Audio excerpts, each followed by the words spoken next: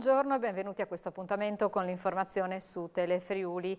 Superano quota 30 i ricoveri in terapia intensiva e sono più di 300 quelli nelle aree mediche per Covid-19 in Friuli Venezia Giulia. Numeri in crescita rispetto alle scorse settimane che fanno temere che l'onda lunga delle positività sia arrivata nuovamente a toccare le aree mediche. Vediamo. 30 pazienti in terapia intensiva Covid e 308 nelle altre aree mediche. Toccano tristi vette le ospedalizzazioni in Friuli Venezia Giulia, ultimo parametro scelto dal governo per valutare i cambi di colore delle regioni.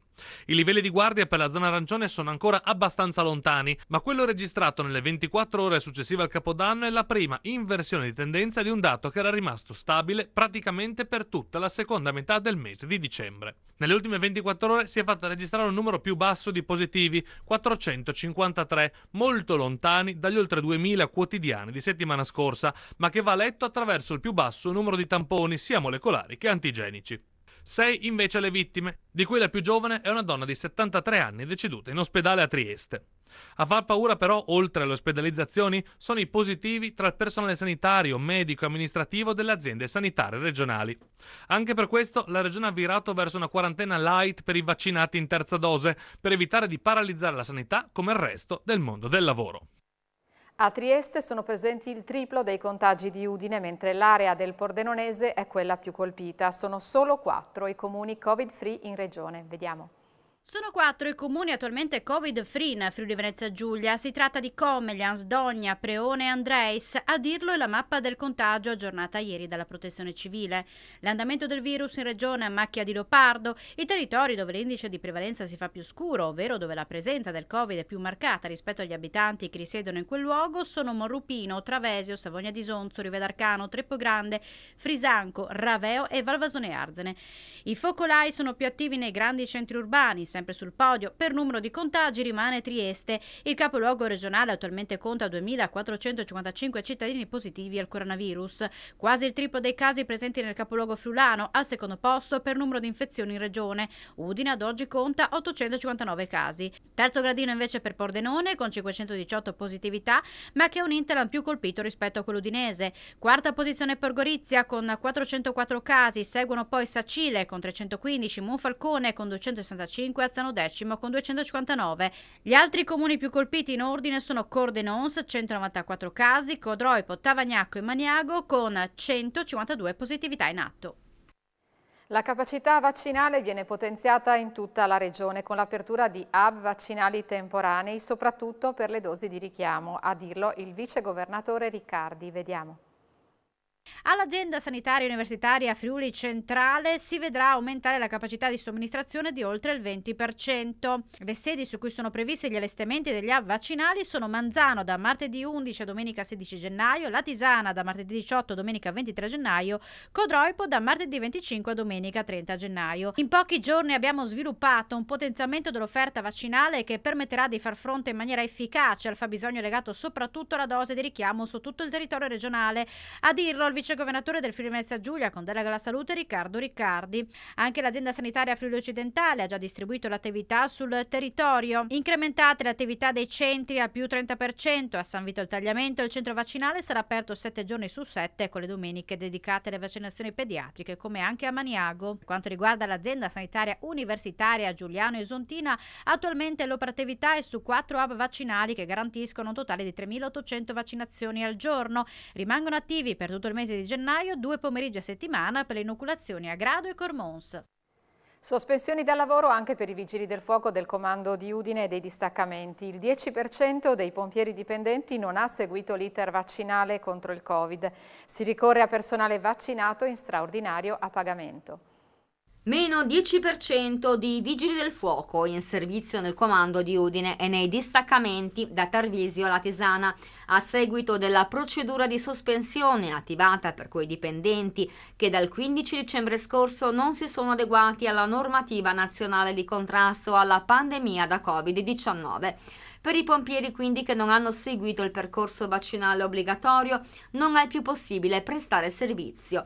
Le loro assenze, spiega il comandante provinciale di Udine Giorgio Basile, vengono coperte da personale vaccinato in straordinario a pagamento per garantire i numeri minimi di personale per tutta l'area di competenza del comando di Udine.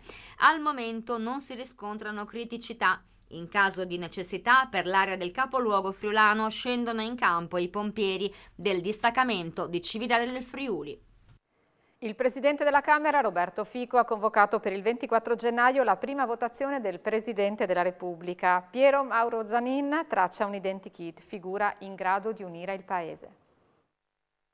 La data da cerchiare in rosso è quella del 24 gennaio alle 15, quando il Parlamento sarà convocato in seduta comune per la prima votazione del nuovo Presidente della Repubblica che subentrerà Sergio Mattarella. Il Consiglio regionale sarà convocato la settimana prossima, i giorni li decideranno i sette capigruppo, con il compito di indicare i rappresentanti del Friuli Venezia Giulia. Si sceglieranno tre nomi, ogni consigliere dovrà indicarne due e la strada sembra tracciata con Massimiliano Federiga, Piero Mauro Zanin e per le opposizioni Sergio Bolzonello. Da tradizione, spiega il Presidente Piero Mauro Zanin, Zanin, si scelgono il Presidente della Giunta e del Consiglio e poi l'esponente più rappresentativo del gruppo più numeroso della minoranza. Diciamo che se i rumors dovessero essere confermati dal voto, ci sarebbe un equilibrio sia territoriale, con Udine, Pordenone e Trieste, sia politico. Ancora presto invece per il nome del nuovo Presidente, il candidato più forte, spiega Zanin, è ovviamente Mario Draghi, ma stanno arrivando appelli affinché prosegua la guida del governo. Diciamo che siamo in alto mare. Non faccio nomi, ma è importante che, in questo momento di divisione del Paese, sia una figura di unità in grado di rappresentare i principi di libertà, giustizia e uguaglianza alla base della Costituzione, come indicato dallo stesso Mattarella. Tutti i pignarul della conca tarcentina saranno accesi in piena sicurezza con distanziamento e controllo del Green Pass. Falò quindi a sorpresa nelle frazioni e sui monti. Oltre 15 le pire pronte a essere incendiate. Ce lo spiega il presidente della Proloco di Tarcento. Vediamo. Siamo giunti quest'anno alla 94esima Epifania qui a Tarcento e purtroppo per il secondo anno dovremo, avremo molte limitazioni. È previsto solo il passaggio della, di Cattina e la Befana la mattina per i bimbi, ma molt, una cosa molto veloce evitando assembramenti e l'accensione del Pignarul Grand alle 19 e, e di tutti i Pignaruli della Conca d'Argentina senza pubblico e nella massima sicurezza e muniti di Green Pass. Sono state fatte delle riunioni con i pignarulari che sono, si sono dichiarati tutti disponibili ad osservare le disposizioni prefettizie e quindi noi siamo sicuri che eh, verranno, verranno rispettate. Noi avevamo il totale di 12 pignarui, però eh, abbiamo eh, tre pignarui non solo del nostro comune ma di Lucevera, di Magnano e, qui, e di Montenars e quelli di 300 eh, verranno accesi alle 19 del giorno 6 gennaio. Siamo alla cronaca. Il cadavere di un uomo di 35 anni è stato trovato stamattina verso le 8 nel parcheggio interrato di un centro commerciale di via Giulia a Trieste. Gli investigatori mantengono il più stretto riservo sulle indagini. A quanto si apprende a rinvenire il corpo è stato il personale addetto del parcheggio. Sul posto sono giunti il magistrato di turno, i sanitari e il medico legale. Quando è stato trovato l'uomo era già morto presumibilmente da qualche ora. Non si escluderebbe una morte a causa di un trauma. Perde il controllo della sua Golf che si schianta contro un muretto. L'auto è praticamente distrutta ma lui se l'è cavata con qualche lieve ferita. È successo la scorsa notte a Gemona in via Armentaressa, protagonista un giovane di 21 anni della zona. Era solo in macchina ed è stato portato in ospedale a Udine. Brutta avventura per una goriziana la notte scorsa in Sardegna. La donna, 55 anni, residente a Gorizia, è uscita per un'escursione su un sentiero CAI sui Monte dei Sette Fratelli fratelli a Burcei quando ha perso l'orientamento a causa del buio. La donna è riuscita a dare l'allarme ai carabinieri con il suo telefonino ma è caduta la linea e poi è rimasta isolata. La zona è stata anche sorvolata da un drone con una camera infrarossi. Durante la notte le comunicazioni fra la dispersa e i carabinieri sono riprese e la donna è stata così raggiunta dalle squadre del soccorso alpino e dopo una verifica delle sue condizioni di salute è stata accompagnata a Quartu. Nel 2021 il Covid non ha fermato le compravendite di beni immobili che a Udine e dintorni sono cresciute del 16% rispetto all'anno precedente. Vediamo. Il Covid non ferma il mercato immobiliare. In provincia di Udine nel 2021 le compravendite hanno avuto un incremento del 16% rispetto all'anno precedente.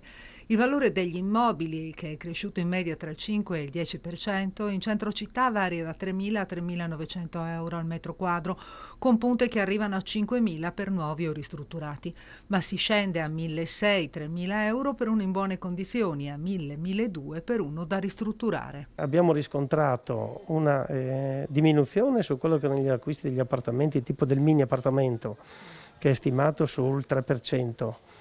Un, eh, un, vendite dei bicamere circa come tipologia nel 2021 sul 20%, i tricamere sono quelli che hanno subito una maggiore richiesta e noi abbiamo riscontrato solo un 17% su quello che è le vendite degli, della ville e delle case. Il problema è che mancano proprio questi immobili. Importante riconoscimento per Paolauro e per tutta la regione. Da pochi giorni Paolauro è diventato villaggio degli alpinisti, è il sesto in Italia e il trentottesimo in Europa. In primavera la visita della Commissione europea che ha deciso di concedere il prestigioso marchio. La Valle Incaroio sarà il primo villaggio degli alpinisti della regione Friuli Venezia Giulia, il sesto in Italia e il 36esimo in tutta Europa. I villaggi degli alpinisti sono quindi piccole località caratterizzate da una ricca tradizione alpinistica, da un'elevata qualità ambientale e paesaggistica, che si distinguono per l'impegno nel conservare, nella conservazione dei loro valori naturali e culturali. Il riconoscimento di questo marchio rappresenta una prova delle ottime qualità naturali, paesaggistiche, culturali e alpinistiche di Paolaro che attraverso boschi, malghe, pascoli e sentieri Paolaro offre ai visitatori. Siamo allo sport, sarà il 16 gennaio la data della ripartenza per i campionati dilettanti. Lo ha assicurato Hermes Canciani, presidente della Lega Nazionale Dilettanti Friuli Venezia Giulia, che però ha chiarito che se ci dovessero essere le condizioni si potrà slittare di una settimana. Per quanto riguarda invece le giovanili si tornerà in campo il 6 febbraio. Noi abbiamo, secondo me, abbiamo deciso e l'abbiamo fatto appena prima di Natale, di dare qualche, te- qualche, giorno in più per i settori giovanili. Ricominceremo l'attività ufficiale il giorno 6 di febbraio. Il 6 secondo me è una data corretta perché abbiamo la possibilità di vedere come va il ritorno a scuola da parte dei nostri ragazzi. Abbiamo tutto il tempo per capire se ci possono essere delle situazioni che logicamente vanno a inficiare questa nostra data e quindi il 6 febbraio per i settori giovanili è una data secondo me corretta. Per i dilettanti, vedete, noi abbiamo avuto due gare, due gare che sono state praticamente rinviate per Covid. Ricordo, ricordo che rinviare per Covid significa avere nella propria gruppo squadra 5 o più persone che sono considerate o positive o stanno in quarantena. Allora, considerato che sono state solo due, considerato che la stragrande maggioranza dei nostri ragazzi è vaccinata, io credo che la data del 16 di gennaio sia una data corretta. Però siccome non siamo ottusi, e anche ieri questo è stato un motivo di discussione all'interno del gruppo dei presidenti dei comitati regionali, se ci dovesse essere la possibilità, noi andremo logicamente a prenderci ancora la settimana che ci serve o i 15 giorni.